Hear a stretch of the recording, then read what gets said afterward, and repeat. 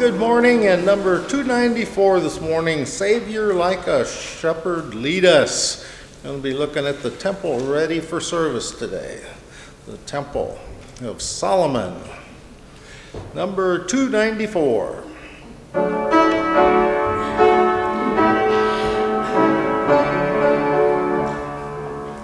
Savior,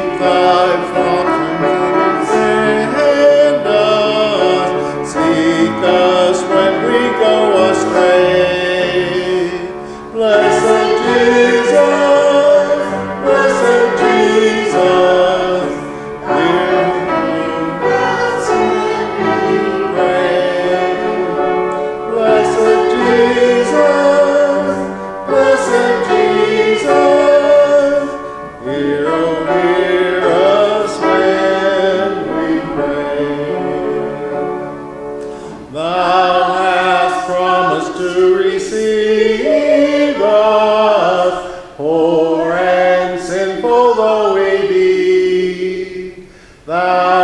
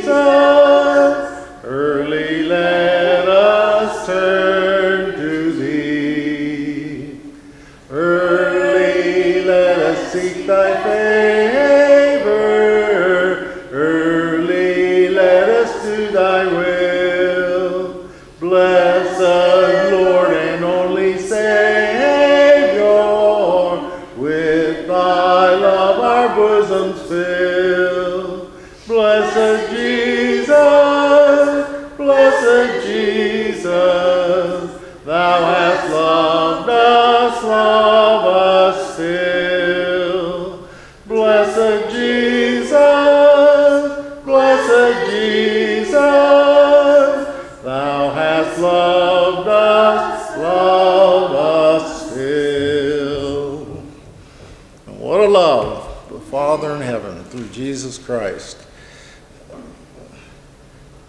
I'm having a little trouble with my hearing aids. Okay. See how that works. Savior, like a shepherd, lead us. You know, the Savior leads you. He doesn't. He doesn't whip you along, does he?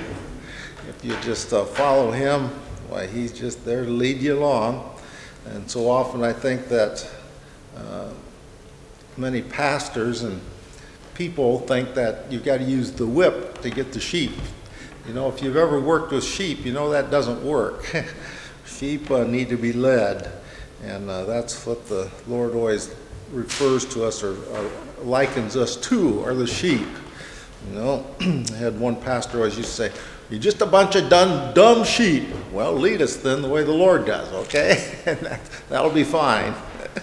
we'll just uh, follow after willingly. Okay, number 300. More secure is no one ever than the loved ones of the Savior. You know, there's nobody in the world that's, uh, that's more secure in anything than the ones that know Jesus Christ as their Savior. What a wonderful uh, thing to know that is. Number 300.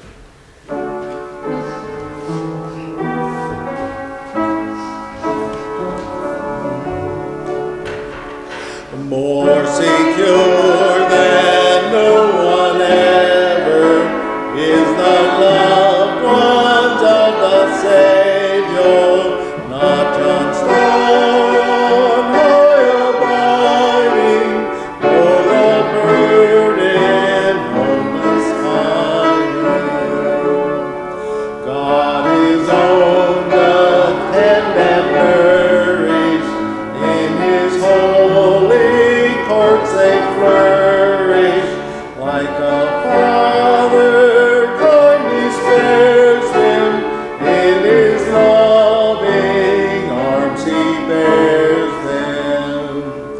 them. Neither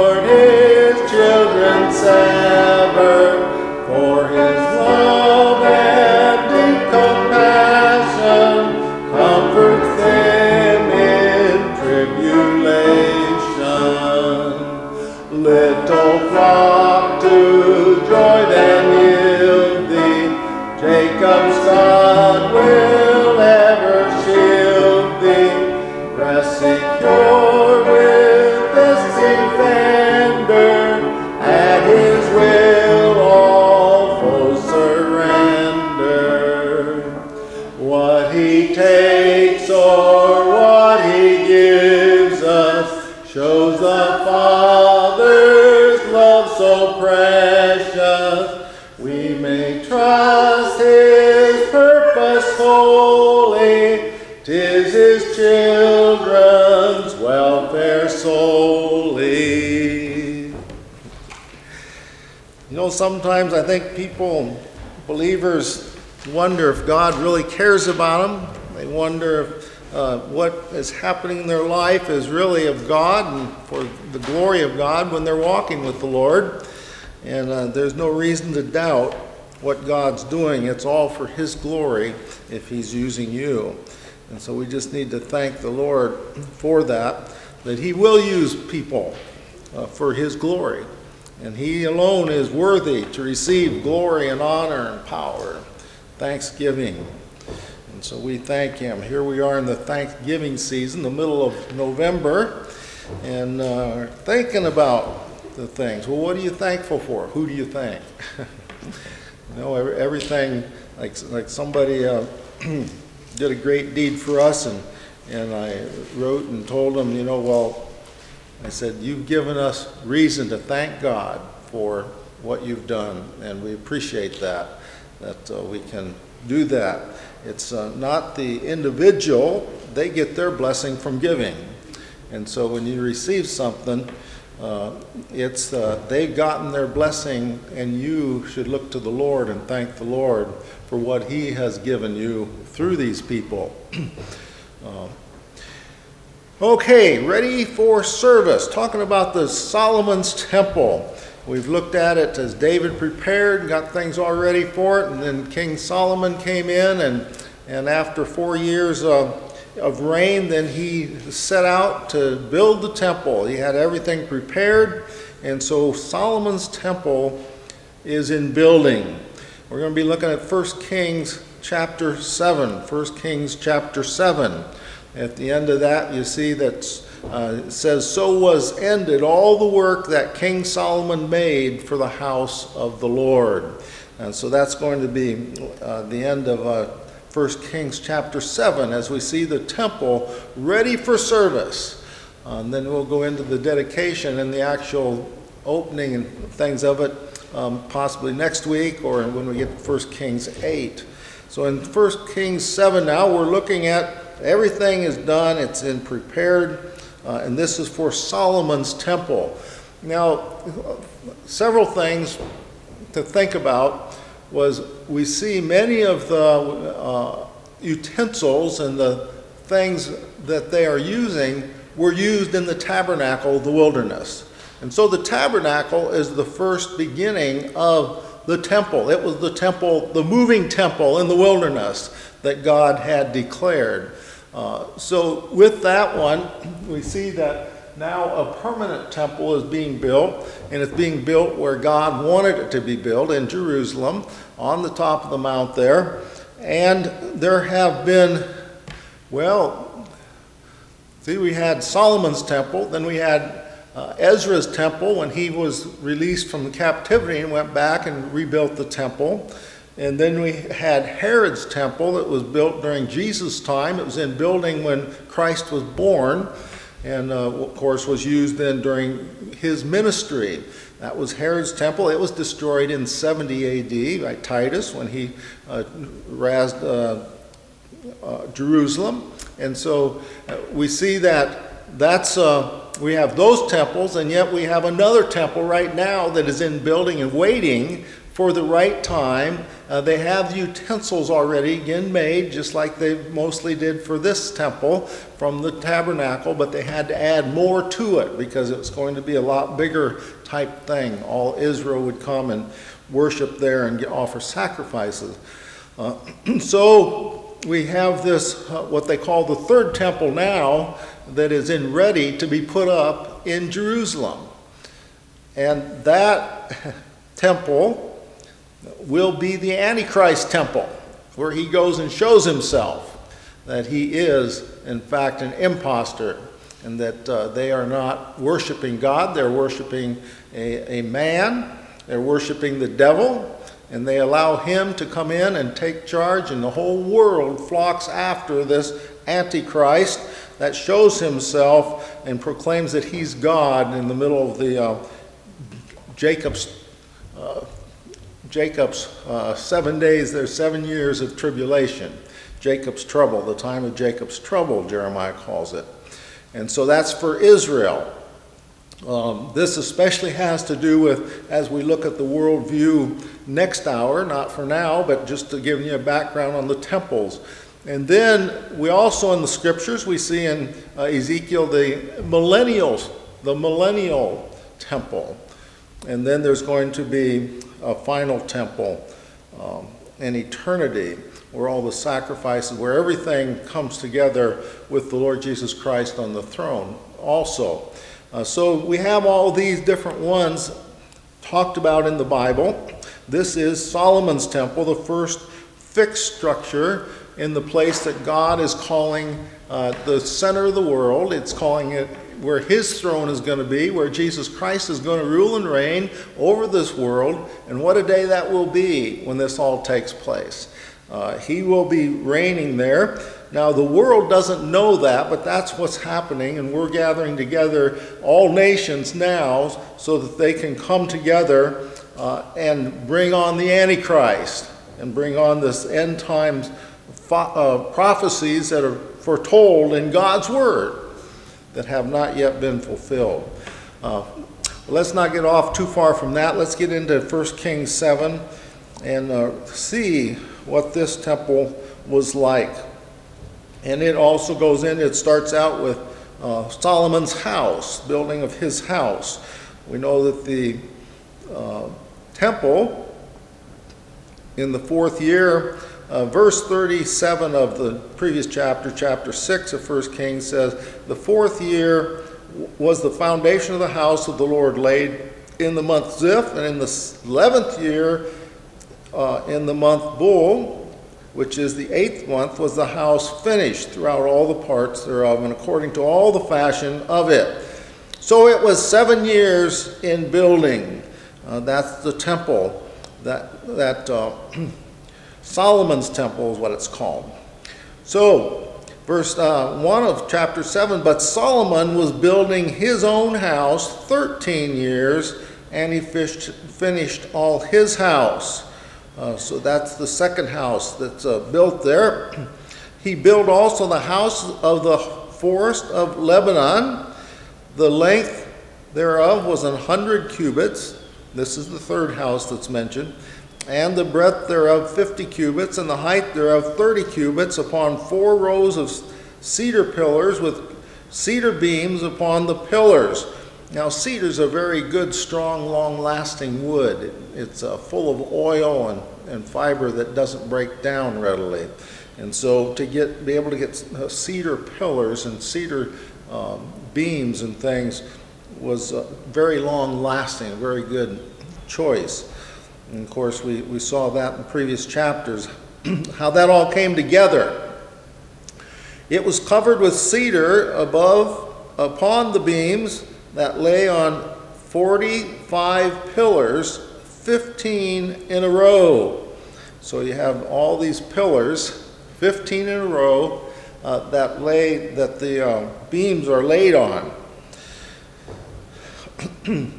this uh, 100 cubits, that's about uh, roughly, uh, uh, what would you say, just by 150 feet. Uh, so that'd be a, a, standard cubit. There's the, also the long cubit, but roughly that, just to get an idea. Uh, so 150 feet, the breadth thereof 50, that'd be about 75 feet. The height thereof 30, be about 45 feet high. And so we see that that's the uh, dimensions of it. And it's on four rows of cedar pillars. So there's four rows of these cedar pillars, and then the beams go on them. And so it was covered with cedar above the beams that lay on 45 pillars, 15 in a row. So there you have the, kind of get a picture in your mind of these rows of pillars and then the beams laid across them uh, for the temple. Now, you don't really see that in this artist rendition. You do see the pillars. There's not 15 of them there, but uh, in a row. But you do see some of the pillars uh, not mentioned necessarily for uh, Solomon's temple that we see here. And there were windows in three rows, and light was against light in three ranks. And so you had these windows and, and across you had three of them uh, in rows, or three rows of them, and three ranks. So you had, uh, you know, three ranks, and that'd be nine, and nine windows uh, there along. And all the doors and posts were square with the windows, and light was against light in three ranks. And so everything is laid out just the way it should be. It's square. It's uh, the way it was supposed to be done. Verse 6 He made a porch of pillars. The length thereof was 50 cubits, and again about 75 feet. The breadth thereof 30 cubits, about 45 feet. And the porch was before them, and the other pillars, and the thick beam were before them. Then he made a porch for the throne, where he might judge, even the porch of judgment and it was covered with cedar from one side of the floor to the other. And so he's got all these little out places around it then that were added on for different purposes. Verse 8 And his house where he dwelt had another court within the porch, which was of the like work. Solomon made also an house for Pharaoh's daughter, whom he had taken to wife, like unto this uh, porch. Uh, so the uh, the house that he made also had similar uh, construction as this did with the porch. All these were of costly stones, according to the measures of hewed stones, sawed with saws within and without, even from the foundation under the coping, and so on the outside toward the great court. Uh, so all these huge stones and is interesting as a workman myself, and thinking about what it was like um, 3,000 years ago, uh, here they have hewed stones sawed with saws. Uh, I mean, they didn't have big, um, you know, steam engines or powerful uh, things with rotary saws that cut, cut stone, did they? That we know of. They had manpower. But even then, just to have a saw that would withstand the cutting of stone was phenomenal. Uh, even today, you get, we get these hardened stones. We have, uh, I have a, a, saw blade that can cut concrete at home on my saw. Uh, it's out of very hardened steel, and I think it has diamond tips on it. But, uh, but what did they have? They must have had some fantastic uh, works because God showed the workmen how to do it, didn't he? He showed them how to make these things, And so they were the best that was ever made. Think about that. Uh, we, we wonder about it. We think of, you know, the, the cavemen that the, the evolutionary process talks about and all these kind of things and how nonsensical that is uh, to build a structure like this uh, without even having to make any adjustments after they move them in. Verse 10 And the foundation was of costly stones, even great stones, stones of 10 cubits and stones of 8 cubits. Uh, so there you're looking about 15 foot across stones. Things, things were squared, it says, but 10, uh, 10 cubits and 8 cubits. So, you know, 12 to 15 foot uh, stones that were cut. Uh, that, that's big. You know, that's, they, even if the floor would hold them up here, why, it wouldn't hardly hold from step to step. And so you think about the, the size of those stones, think about the weight of those stones, just phenomenal. And yet uh, God showed them how to do this. He laid out the pattern. He gave skills to all the men that, that needed to have the skills, and they had the tools and equipment uh, they, as we'll see more, uh, when they make some of the things and when they do the brass work and stuff, they, they laid these in clay and, and put them in molds and stuff. And so they could use that mold over and over again uh, to do these things. It's just phenomenal when you think about that. Uh, so the, uh, the huge stones and cedars, uh, the great court in verse 12. There, round about three rows of hewed stones and a row of cedar beam, both for the inner court of the house of the Lord and for the porch of the house. Uh, uh, so all this was costly stones, it says in verse 10. Great stones, 10 cubits and 8 cubits. Uh, verse 13, and King Solomon sent and fetched Hiram out of Tyre. He was a widow's son of the tribe of Naphtali and was father and his father was a man of Tyre. Uh, so this gives you the tie-in of Hiram. He was actually of the Jewish race, but he was in Tyre, where his dad was, had been, with his widow. Um, so he was in the tribe of Naphtali. Uh, worker in brass. He was filled with wisdom and understanding and cunning to work all works in brass, cunning to work, a skilled worker in bronze. And he made the, to, and he came to King Solomon and wrought all his work. Uh, now I'm sure that he trained people to help him, assistants and things, but he's the mastermind of the brass works. Verse 15, for he cast two pillars of brass he cast. Listen, we talk about casting things today, and you ought to see the factories where these big casts are made for pillars. You think about the pillars you see, even the cement structures for highways and bridges and things. Uh, and, and then you think of this. He cast two pillars of brass of 18 cubits high apiece. So, so there's almost not